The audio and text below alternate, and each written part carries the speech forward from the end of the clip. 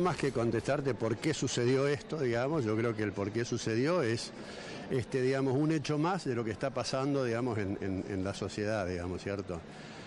Ahora, eh, vos me preguntás por las cámaras, bueno, las cámaras que hay, no hay una cámara que enfoque directamente al, ente este de Movi, a la, cabina de Movi,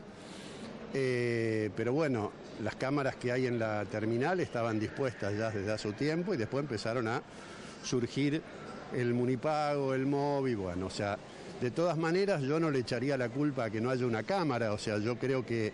estamos viendo todos los días que por más que haya una cámara, digamos, eso no, no amedrenta a, la, gente que quiere robar porque están pasando hechos que todos los días ustedes mismos lo pasan por televisión, cómo robaron a uno, a otro, cómo robaron un kiosco, una persona en la calle. Yo lo que te puedo decir es que nosotros, es verdad, en estos momentos hay muy poca policía, a pesar de que hay un destacamento.